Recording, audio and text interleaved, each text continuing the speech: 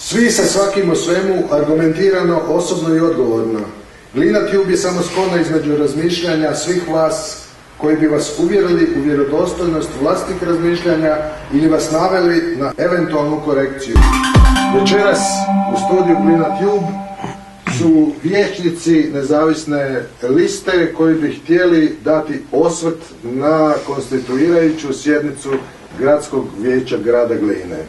Izvolite gospodo. Evo, lijepo pozdravljam sve građane i građanke grada Gline. E, u ime svih vijećnika nezavisne liste. Danas su pred vama tri vijećnika.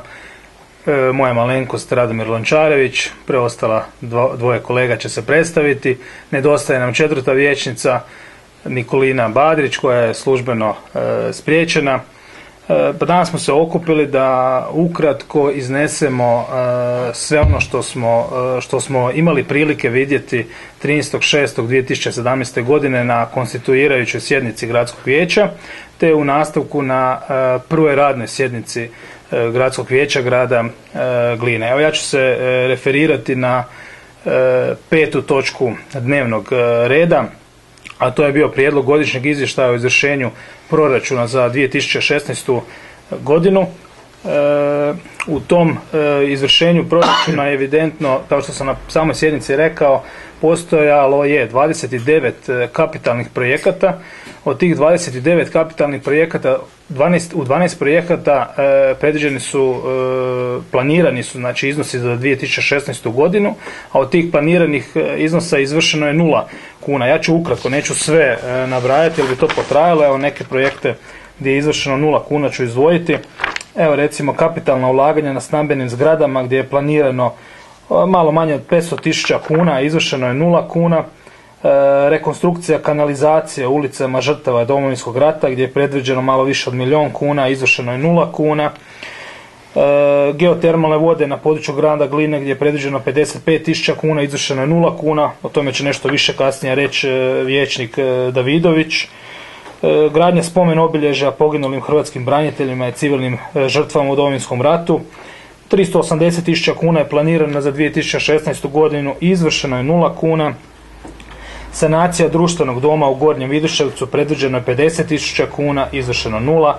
Isto tako sanacija društvenog doma u Prekopi gdje je predviđeno nešto više od 300.000 kuna, izvršeno nula, e, nula kuna i tako dalje i tako dalje. E, moram ovdje reći da sam postavio dva pitanja gradonačelniku. Prvo pitanje je bilo zašto gradonačelnik kasni sa prijedlogom e, godišnjeg izvještaja o izvršenju proračuna. Na to sam dobio odgovor ne od njega, već od pročelnice za financije. Možete primijetiti da ako se dajete malo truda, da teško je naći grad u Republici Hrvatskoj koji je e, nakon izbora uvrstio u dnevni red odluku, to je prijedlog godišnjeg izvještaja, izvještaja o izvršenju proračuna. U svim ostalim gradovima u Republici Hrvatskoj ta sjednica gradskog vijeća je obavljena prije izbora. Sad se postavlja pitanje zašto to nije napravljeno prije izbora, već se nakon izbora na samoj konstituirajućoj sjednici radi radna sjednica, što inače nije, nije praksa. Pa upravo ovo što sam, što sam sad rekao je razlog, razlog tome. E, gradonačelnik Kostanjević i njegovi savjetnici i pomoćnici su se bojali da ako napravi ovu sjednicu prije izbora, da će tada vijećnici, koji su tada bili u gradskom vijeću, vidjeti, imati e, uvid i vidjet će da zapravo ništa od ovih velikih projekata, kapitalnih projekata za grad Linu nije izvršeno. Također napomenuo sam još šest projekata uz ovih 12, šest projekata gdje je predviđeno mnoštvo e, puno novaca, sad neću, neću ponovno nabrajati i referirati koji su to projekti, a izvršeno je jako malo. Jako malo. E, tako da gradonačelnik se bojao svog nerada, bojao se da to izađe u javnost prije izbora jer to bi štetno djelovalo na njegov konačan rezultat na ovim e, izborima. Drugo pitanje je bilo zašto je uništio ili e, unakazio sve ove projekte, također na to nismo dobili odgovor od njega. E, njegov odgovor je zapravo bio da on nikog nije vrijeđao u ovoj kampanji, a da su ga neki eto tako slučajno vrijeđali u kampanji i da je on očekivao ispriku od tih nekih ljudi. što nije doživio i da to je eklatantan primjer nekulture. Mene zanima koji su to ljudi koji su njega vrijeđali. Ja jedino znam da, je, da su njegovi ljudi, znači ne on, već njegovi ljudi, čak teško mi je, evo možda ću biti malo i, i prežestok reći, da su to ljudi, već bi rekao da su to njegove figure, njegovi poltroni i sa hrvatske i sa srpske strane. Ovi sa hrvatske strane su pričali da, sa, da sam ja konkretno ja, kandidat za gradonačelnika e, grada Gline, e, Srbin, a ovi sa srpske strane su po srpskim selima pričali da sam ja veći ustaša od Ante Pavelića. E, ne samo da su mene vrijeđali, vrijeđali su i zapravo cijelu nezavisnu listu. Onog trenutka kad se pojavila nezavisna lista na političkoj sceni u gradu Glini, pričali su da smo mi, u HDZ-ovim redovima se pričalo da smo mi jugonostalgičari. Nigdje ne možete pronaći u našim predstavljanjima da sam ja negdje javno uvrijedio ili bilo tko sa moje liste da je javno uvrijedio gospodina Kostanjevića ili bilo uh, kojeg njegovog člana sa, sa liste. Ono što je bitno napomenuti uh, da ja preporučam gospodinu Kostanjeviću i njegovim pomoćnicima da, budući da se vidi da on ne zna razliku između kritike i uvrede, jer sve ono što sam ja radio u ovoj kampanji, to je bila kritika. Pa svatko onaj ko obavlja javni posao mora biti spreman na kritiku, pa tako i on. Ovdje se vidi da on nije spreman na kritiku i da on kritiku doživljava kao uvredu. Ja preporučam njemu i njegovim savjetnicima da sami između sebe organiziraju radionicu i da na toj radionici nauče i da si malo izvježbaju što je kritika, što je, e, što je uvreda. E, to je ovako ukratko o toj petoj točci dnevnog reda. E, ima još dosta bitnih točaka, tome ćemo, e, ja ću se nadovezati na, na neke, a prepustit ću za sad svojim kolegama vijećnicima. Gospodine Lončarević, vi ste sigurno svjesni da nakon ovog što ste izrekli protiv gradonačelnika, da, će Glina Tube morati pozvati e, gradonačelnika da da svoje razmišljanja o tom što ste vi rekli. Pa naravno, ja sam suglasan, ali ja mislim da se gradonačelnik neće odazvati, da on nema hrabrosti, kao što je pokazao i u kampanji, da nema hrabrosti se odazvati, ali evo ja bi bio spreman s njim se sučeliti nakon izbora, iako to nema više smisla, ali za građane grada Gline možda, možda i ima. A evo, samo, samo naprijed. Konstituirajuća sjednica je prošla onako kako sam i mislio da će, da će proći. E, e, gospodin Kostanjević se pronašao većinu sa gospođom e, Lončarić, Biškup i sa gospodinom e, Gavrilovićem. To je njihovo pravo da se odijele uz koju stranu će stati. To je to, ne bih previše komentirao njihove, njihove postupke. Inače, prošlo je sve onako kako sam i mislio da će proći. Ime mi je Goran Davidović, gradski sam vijećnik vijeća grada Gline, ispred nezavisne liste Radomir Lončarević. Ovim putem, znači isto ću se osvrnuti na izvršenje proračuna za 2016. godinu. To je bila peta točka dnevnog reda. Znači, poslije sam pitanje vezano za geotermalne izvore, odnosno projektu, da li će zaživjeti ili ne. Vrlo jednostavno iz razloga zato što lomilo se koplje u kampanji na tim geotermalnim izvorima s jedne i s druge strane puno toga izrečeno. Pa evo samo me zanimala istina kao i nas vijećnike nezavisne liste a nadam se i vijećnike općenito pošto su novo izabrani da bi svi trebali biti upućeni o čemu se radi i kako se radi. A ostalim građani grada Glina koji to moraju prepoznati a moraju saznati. Desilo se što se desilo poslije sam pitanje da li je taj projekt zaživio i kada će se krenuti u izvođenje radova, no međutim desilo se to da je gospodin pročelnik Damir Fabijanac izašao van i potvrdio naše najgore i najcrnije sumnje da je jedan od najvećih projekata koji je mogao obilježiti glinsku povijest jednostavno pao u ponor. Slijed događaja do onog trenutka kad je taj projekt sprečen i od koga? 2013. godine je započelo, započelo se sa radom što se tiče projekta geotermalnih izvora, znači dugi niz godina se radilo, papirologija se rješavala, surađivalo se sa Fondom za zaštitu okoliša i energetsku učinkovitost. No međutim, prošle godine jednostavno su Fond za zaštitu okoliša i energetsku učinkovitost je jednostavno ukinulo projekt jer nije bilo suradnje, znači grad Glina nije izvršio svoje obveze koje morao napraviti. Čekajte, Da projekt, bi se moglo e, krenuti dalje. projekt koji je bio u fazi je ukinut. Tako je. E, 1.12. Od koga? Od strane Fonda za zaštitu okoliša i energetsku A učinkovitost. razlog je bio Probijanje vremena. ne? Tako je, da, jednostavno znači grad nije surađivao, nije odrađivao poslove koje je morao odraditi kako bi se nastavilo dalje. Grad Glina nije uspio pronaći izvođača radova na lokaciji Kihalac. Samim time Fond za zaštitu okoliša vjerojatno je smatrao da grad Gline neozbiljan, da je to nije potrebno gradu Glini. Jednostavno je zatražio povrat sredstava i ukinuo projekt. izjavljeno bilo svojevremeno da ne treba otkrivati toplu vodu zato je topla voda otkrivena u Topusku. Da, izjavljeno je, snimljeno je, nažalost, desilo se što se desilo, ali mislim da je gospodin Kostanjević gradonačelnik grada Gline, ne gradonačelnik, odnosno načelnik općine Topusko. Treba se boriti za svoj grad, za svoje ljude, da nama bude bolje, da budemo primjer drugima na pozitivan način, a ne na negativan. Nažalost, ovo je jedan projekt koji će stvarno, stvarno, stvarno će koštati grad. Studije su pokazale da su dvije lokacije predviđene znači za same geotermalne izvore, to je lokacija u Desnom Degu i druga lokacija u Kihalcu. No, međutim, Fond za zaštitu okoliša i energetsku učinkovitost je ipak odlučio da je lokacija u Kihalcu znatno bolja. Te samim time dala do znanja gradu Glini da se treba dalje baviti i zalagala se sama na kraju krajeva da se izvrši projekt do kraja. Nije nastavljen vjerojatno zato što je bilo manjka resursa u gradu Glini, odnosno znanja, jel, po navodnicima, to jest neznanja ljudi koji rade u gradskoj upravi, odnosno možda nije bilo ni htjenja.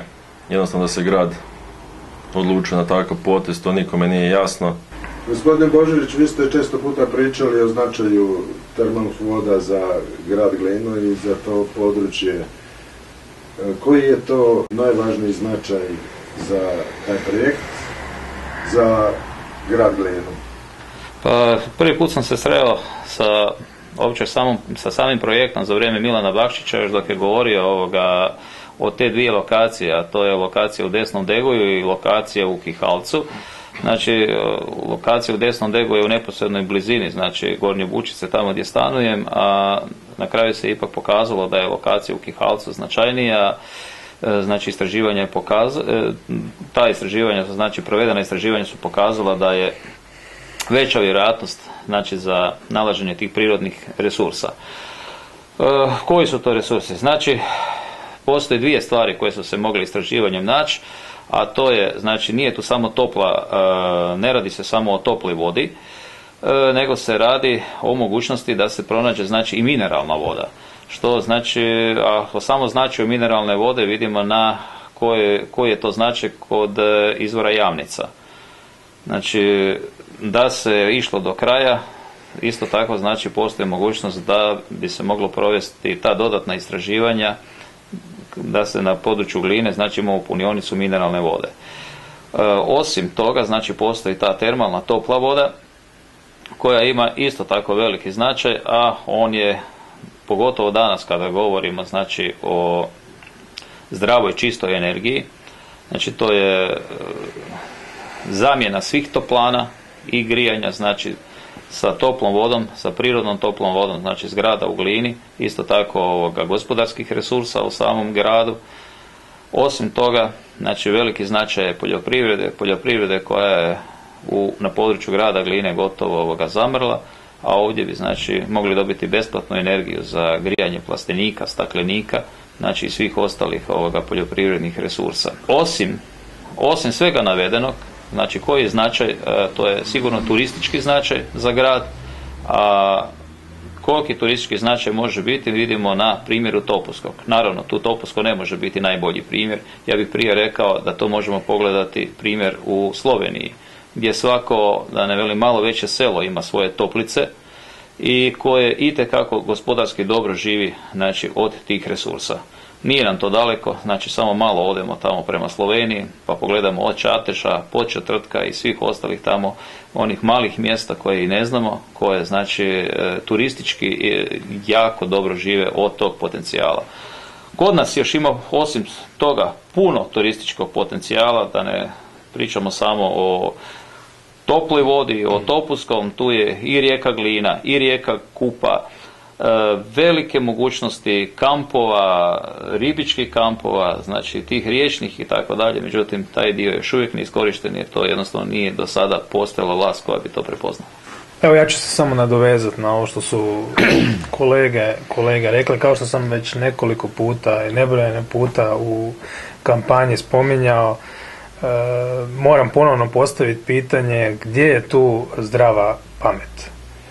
Evidentno je da e, građani grada Gline biraju krive ljude, možemo reći na krivim mjestima. Građani grada Gline biraju ljude koji nemaju ideju kako se ovaj grad Glina može razvijati. To ćete vidjeti sad kasnije, ćemo se referirati na još jednu točku gdje, e, gdje se na utorak 13.6. donijela odluka o strateškom, e, znači strateški plan razvoja gospodarskog sektora grada Gline, područja informatike, gdje nam je e, direktor Agencije za razvoj grada Glina Marko Rukavina govorio o pametnim prometnicama. Znači, mi donosimo dokument gdje nismo dobili odgovor od njega što će taj strateški plan nama na kraju, koji je cilj toga, što će grad Glina dobiti od toga 2023. godine. A ovdje imate i znajete što nam geotermalni izvori mogu donijeti. Jer imate primjer ne samo u Sloveniji i u Švedskoj gdje mala domaćinstva na svojim e, obiteljskim e, gospodarstvima imaju izvore tople vode imaju blatne kupke, tople kupke, masažne kupke, tako dalje da, da ne nabrajam. Takav projekt koji vrijedi negdje više od dva i nešto milijuna e, kuna je zaustavljen. Ulazi se u nešto što je, što je nepoznato i na što nismo dobili odgovor u, u, u utorak. Znači strateški plan razvoja gospodarskog sektora, područje informatika. Znači razvijat ćemo, ne znam, pametne prometnice, a zgrade nam se urušavaju. Tako da, još jednom, tu nema, tu nema zdrave pameti. Građani grada Gline zaista moraju, moraju razmišljati o tome koga biraju, moraju izaći na, na birališta. Sad je, kažem, završilo je, e, izbori su završili, ali moraju dobro razmišljati za sljedeće izbore e, tko je taj ko grad Linu može, može e, pokrenuti prema naprijed. A vijećnici nezavisne liste će uvijek biti tu mi smo dobili mandate, mi ih nećemo, građane grada Glina nećemo razočarati, ali one, oni nam moraju u tome pomoći. Znači moraju nam davati prijedloge, moraju nam isto tako davati kritike, mi ćemo sve to uvažiti jer jedino uz, njihov, uz njihovu pomoć možemo njihove probleme prenijeti u gradsko vijeće i vidjeti sa ostalim vijećnicima, vijećnicima da li je to zapravo da li će to prihvatiti na E, skoro kod svih e, točaka od ovih, bilo je 11 točaka na kraju, vidjelo se da vijećnici HDZ-a evo, malo opet ću se izraziti malo, malo žešće, zapravo imaju naredbu da moraju glasati za izvršenje tih točaka, za prihvaćanje tih točaka, bez toga, bez da vide da li je to dobro što oni rade jer oni prije svakog e, gradskog vijeća oni imaju sastanak u prostorijama Hrvatske demokratske zajednice gdje dobiju naredbu da sve te točke moraju prihvatiti. Bez pitanja, vidjeli ste da oni niti ne izlaze na, na, na gradska vijeća, niti ne raspravljaju o tim točkama. Oni samo čekaju kada taj prijedlog dođe na glasanje, dignu ruku za. Mi vijećnici nezavisne liste nećemo biti takvi. Mi ćemo zastupati vaše, vaše probleme. Evo možda bi se još samo nadovezao na kolegu što se tiče geotermalnih izvora. Znači prošli saziv vijeća 2016. godine dobio na stol točku za glasanje u proračunu znači za 2017. godinu gdje je bilo e, gdje je bio uvršten sam projekt geotermalnih izvora. No međutim 2016. godine prije toga je sam projekt ugašen. Što dovoljno govori koliko su vijećnici bili prevareni samim tim činom, a i mi kao građani. Vezano uz desetu točku još e, nekoliko riječi, s obzirom da je deseta točka, znači konkretno prijedlog odluke o izradi strateškog plana razvoja grada Gline, područje informatika za razdoblje 2018. do 2023. godine.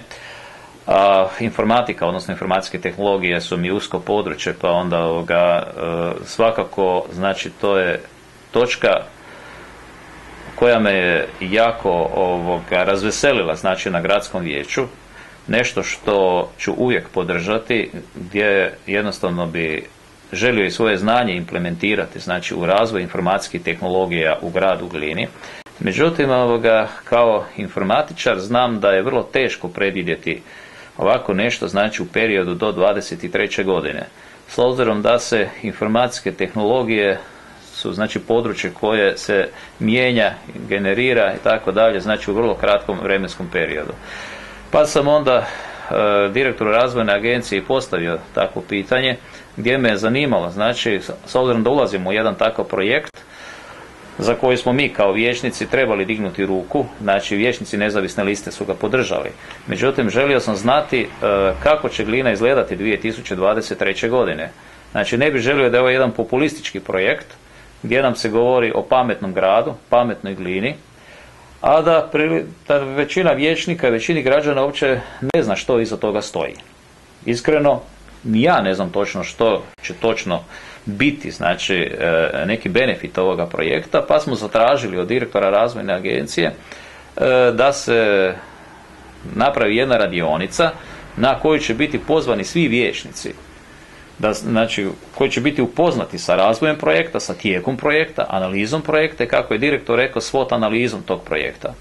On je također rekao da će znači, moći biti prisutni i građani grada, pa ja ovom prilikom pozivam građane, kad bude ta radionica, nadam se da će ona biti u što skorijem vremenu, da se i već dosta građana koji će biti zainteresirani odazovu na ovaj projekt.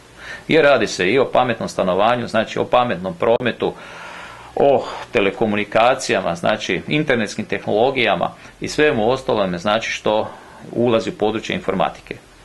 Znači, vrlo jedno zanimljivo područje, pa evo, nadam se da će nam tu direktor ovoga razvojne agencije pripremiti kvalitetnu prezentaciju. Vezano uz danji tijek sjednice, moram reći onaj dio, znači ovo je jedan dio koji me razveselio, a ima jedan dio koji nisam očekivao, pogotovo na prvoj sjednici, na konstituirajućoj sjednici, koja je po meni trebala biti u jednom svečanom ozračju, kao konstituirajuća, znači gdje vijećnici daju određenu prisegu, gdje se svi međusobno upoznajemo, a tijek sjednice je bio ovoga iznenađujuće e, negativan i imao je dosta ružnih scena. Pogotovo u vrijeme kad su gledatelji mogli vidjeti nešto što piše stanka. U to vrijeme događale su se određene stvari za koje građani moraju znati što je bilo. Znači mi smo nakon konstituirajuće sjednice bila jedna pauza od desetak minuta i onda smo neki ljudi su izašli van, neki su se tamo šetali, razgovarali, kad smo se vratili dočekali su nas jedni novi materijali na stolu, znači materijali koje nismo dobili u onom roku od pet dana prije, jednostavno, znači ne niti na početku sjednice, nego u stanci gdje jednostavno kad smo se mi makli sa svojih mjesta dočekali su nas materijali, a, a oni se odnose na prijedlog odluke o ustrojstvu i djelokrugu upravnih tijela grada Gline. Ja sam prvo mislio da je to nešto što mi je neko ovako od kolega podmetnuo i tako dalje, nisam znao o čemu se radi. Dok sam listao te materijale, prošao je pored pročelnik i onako sav, e, vidlo se da čovjek nije dobro, ovoga, uznemiren, izašao je van. E,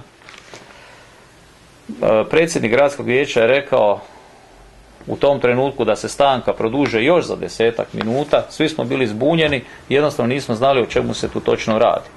Onda su nam svi skupa rekli da, ne, da im fale nekakvi materijali, da sjednica ne može nastaviti, pa su gospođu Goršetu ovoga, inzistirali da ode po materijale u, u gradsku upravu. Onda ona isto valjda nije bila u stanju, pa su je vozili, netko je vozio autom, mi smo tu čekali još nekih dvadesetak minuta. Nakon što se ona vratila, vratila se sva uplakana, e, pozvalo je tamo na sjednici, neki su je pokušavali pomoć, pa su je izveli van da sjedi. Uglavnom jedna jako, jako ružna atmosfera. Još uvijek nismo znali točno o čemu se radi. Onda je netko rekao tamo da je pročelnik u gradskoj upravi pozvalo, da je bila intervencija hitne pomoći. Znači, to je sve što je obilježavalo našu prvu konstituirajuću sjednicu, znači svečanu sjednicu gradskog vijeća. Nakon što smo, sva sreća, imali tih dvadesetak minuta, proučili ove materijale, uočili smo da naša gradska uprava više nema znači e, četiri upravna odjela, nego ima tri upravna odjela.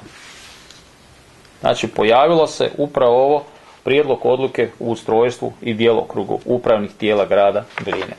Već restrukturiranje gradske uprave sa četiri odjela na tri odjela. Vijećnici ovoga, nezavisne liste uvijek će podržati restrukturiranje gradske uprave, što znači smanjenje troškova, povećanje učinkovitosti, i svega ostalog. Međutim, o čemu se ovdje radilo? Radilo se o ukidanju jednog odjela, a to je odjela za upravu, odjela koji ima osam zaposlenika, a taj odjel je se doslovce utopio u odjel gradonačelnika. Odjel gradonačelnika je ustrojen prošle godine. Tu je važno za napomenuti da je Glina jedini grad, jedini mali grad u Hrvatskoj koji ima ured gradonačelnika.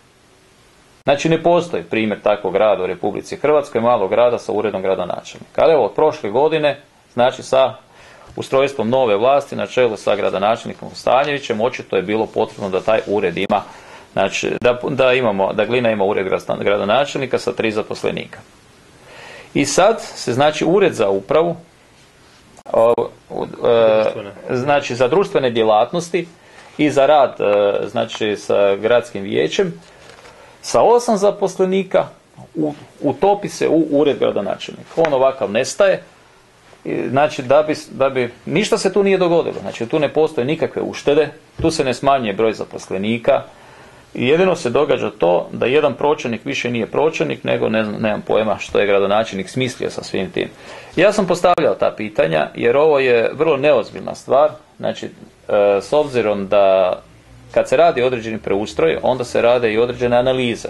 Znači, tu ćemo napraviti kako je i direktor razvojne agencije rekao da se rade određenim svot analizama ili nekim drugim alatima, pa se vidi kolike su to uštede, ako se znači smanjuje određeni broj ureda, e, koji to ljudi će obavljati koje poslove, odnosno da li postoje možda neki ljudi koji sada sjede u gradskoj upravi, a ne rade ništa, a neko drugi radi njihov posao.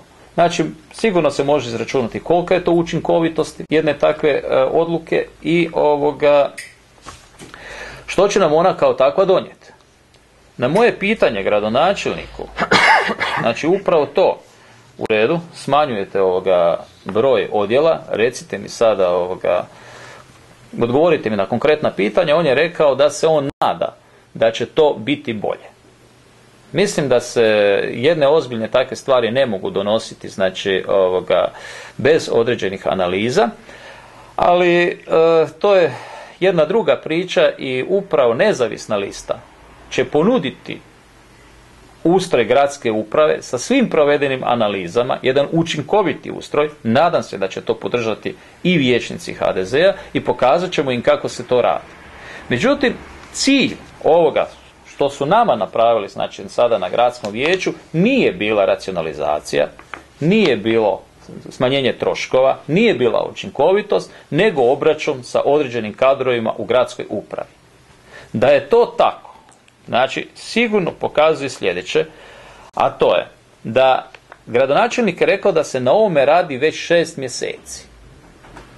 Međutim, znači, za vrijeme trajanja ove sjednice, čak niti određeni vijećnici iz HDZ-a nisu o tome ništa znali. Pročelnik odjela koji se ukida nije znao da dolazi do znači restrukturiranja, odnosno ukidanja jednog odjela. Pa ja sad zanima, zanima me a i vjerojatno i građane grada Gline, koji, koji su to djelatnici u gradskoj upravi radili? Koji su, ko je radio na toj, na, to, na toj reorganizaciji gradske uprave? Kad za to pola gradske uprave ne zna. Znači, nemaju takve informacije. To sigurno ukazuje na nešto, da je to napravljeno, znači, u režiji nekoliko ljudi iz gradske uprave. Međutim, iznenađuje me tu gradonačelnik. Ako sam ja šef negdje, nekome, nečega, i taj netko nije učinkovit, nije za mene dovoljno dobar djelatnik, ili ovoga mi više kao takav njegov ovoga ured ne treba, onda ću imati hrabrosti i reći ću mu u lice da ti jednostavno više ne ispunjavaš moje očekivanja i kao takav ideš na drugo radno mjesto ili jednostavno ćeš ovoga ukinut ću ti radno mjesto ili sve ostalo. Ali ću onda imati hrabrost i to ću reći svom zaposleniku u lice. Međutim, na ovakav način, sa podmetanjem materijala vijećnicima i to na prvoj konstituirajućoj sjednici i to vijećnicima za koje se očekivalo da se neće snaći jer ovdje na ovom papiru ne piše ukidanje odjela, nego lijepo, kao što sam rekao, prijedlog odluke o ustrojstvu i djelokrugu upravnih tijela grada Gline. Pretpostavljali su valjda da oporbeni vijećnici neće znati što to znači i jednostavno će isto tako to prešutiti i oni će jednostavno znači, napraviti, izvršiti taj svoj e, naum u nekoj tišini. Da je to tako pokazuje i sljedeća činjenica, da je čak i vijećnik Franjo Glušac nakon ovoga uvodne riječi o ovoj temi rekao kako je potrebna potrebno restrukturiranje i kako je to nešto dobro i tako dalje. Međutim, kad smo mi ukazali na činjenicu načina koji je ovo provedeno, onda je on i sam bio protiv toga na kraju. A čak i potpredsjednica gradskog vijeća nakon elaboriranja svega ovoga je isto tako digla ruku protiv u razgovoru sa nekim vijećnicima HDZ-a rekli su mi da su se očekivali, osjećali jako ružno na toj sjednici, da su digli ruku za, ali da ukoliko se ovakve stvari budu dalje događali u gradskom vijeću, da jednostavno ne žele biti vijećnici. Evo ja ću se još nadovezati na ovo što je Mario pričao ukida se stvarno jedan od najvećih odjela. Nigdje nemate primjer u, u Republici Hrvatskoj da se ukida uh, ured za društvene djelatnosti, a da se to pripaja jednom novom odjelu koji je ustrojen negdje 2015. godine, znači uredu za gradonačelnika koji ima tri, e, troje zaposlenih. E sad zašto je to tako? Budući da gradonačelnik nije dao odgovor. Evo, daću ja odgovor, a neka me gradonačelnik e, demantira na sljedećoj sjednici. A odgovor je sljedeći. E, jedino pročelnik Dadasović nije član HDZ-a. Svi ostali u uredu gradonačelnika, krenut ću zapravo od e, najvažnije osobe, a to je pročelnica e, gospođa Jelena Folnović, inače tajnica gradske organizacije HDZ-a Sisak, e, koja će sada postati pročelnica tog ajmo reći, novog, novog odjela. Novog starog. Novog starog e, odjela, znači sve ove djelatnosti koje su rađene radit će se i dalje. Ljudi koji su bili u uredu za društvene djelatnosti i dalje će raditi. Ali novi pročelnik će biti gospođa, e, gospođa Folnović. Cilj je da HDZ e, nadzire sve radnike u gradskoj upravi. Ne smije se dozvoliti da tu postoji radnik koji razmišlja svojom glavom da znači, kontrolira znači, upravne da, odjele. kontrolira da, upravne odjele, već žele imati od vrha do dna sve svoje ljude, da mogu raditi zapravo, da mogu imati svoju uh, samovolju i raditi ono što je njima uh, uh, što je njima stalo, a ne što je zapravo bitno za, za građane grada Gline. To je, to je žalosno. Svi oni službenici u gradskim upravama, ako primijete nedolične radnje, odnosno radnje koje nisu po zakonu, dužni su prijaviti ili ne reagirati na zadatak koji mi je postavljen. Kako to funkcionira u glini po vašem mišljenju? Pa kao što sam pričao u kampanji, znači sve to stoji što ste vi rekli, ali u, u gradskoj upravi, u zaposle, kod zaposlenika gradske uprave vlada uh, ogroman strah ti ljudi se boje, boje e, pa i anonimno vjerojatno prijaviti jer je takva struktura u gradskoj upravi da većina njih su članovi HDZ-a. I oni će, oni će sa svojim, e, svojim e, kako da, da se izrazim, tim špijunima, ajmo tako reći, oni će uspjeti naći tko je ta, tko je ta osoba. I zato se ljudi boje i ne žele, bolje im je to prešutiti, baviti se nekim svojim, svojim poslovima, jer to je tako ljudski. Većina ljudi razmišlja na način, pusti to, obavit će to netko, netko drugi. E, zapravo taj netko drugi radi onako kako njemu paše, a to su, e, to je gospodin Kostanjević i njegovi poslušnici u gradskoj, e, gradskoj upravi.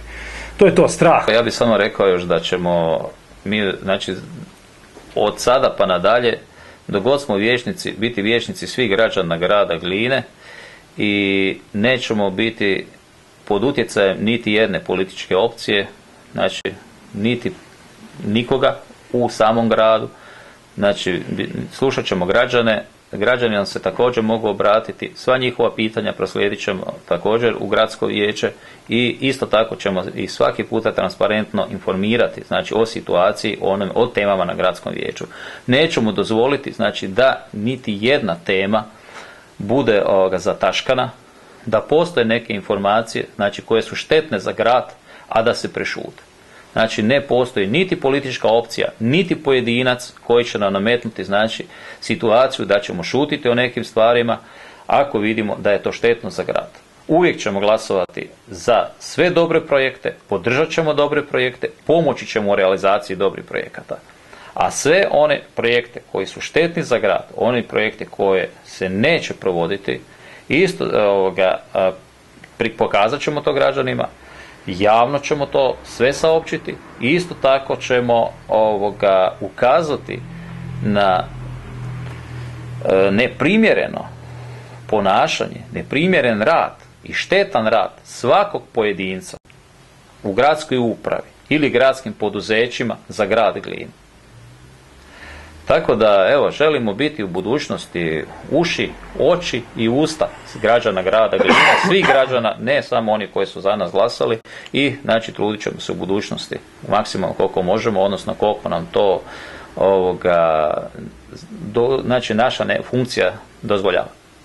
Kao što je Mario e, rekao, pozivam e, građane da nam se obrate putem naše nezavisne liste.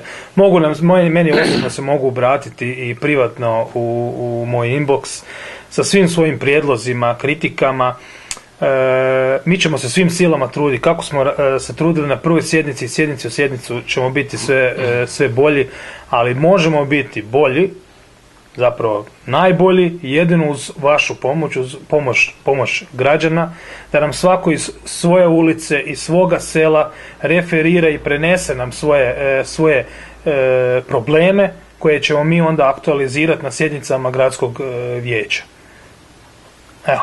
Ja bih možda još samo pozvao ovoga i ostale vijećnike u gradskom vijeću i one oporbene, a i, a i one iz pozicije, da kad dižu ruke da ih dižu u interesu grada prema svojoj vlastitoj savjesti i onako kako oni misle, a ne kako misli stranka koja ih je tamo delegirala ili da bi sačuvali neke svoje pozicije u gradu ili u gradskom vijeću.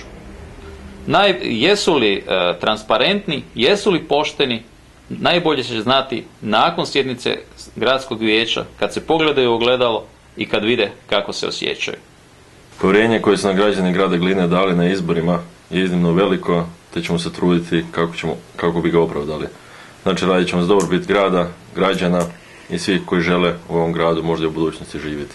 Gospodo vječnici nezavisne liste ili nezavisni vječnici sa vlastitim razmišljanjima i razmišljanjima o interesu grada Gline, zahvaljujem na posjeti Glina Tube i želim vam e, sreću u budućem radu u vijeću. Hvala, vama što hvala vama i građanima. dali priliku. Svi sa svakim o svemu argumentirano, osobno i odgovorno. Glina Tube je samo spona između razmišljanja svih vas koji bi vas uvjerili u vjerodostojnost vlastitih razmišljanja ili vas naveli na eventualnu korekciju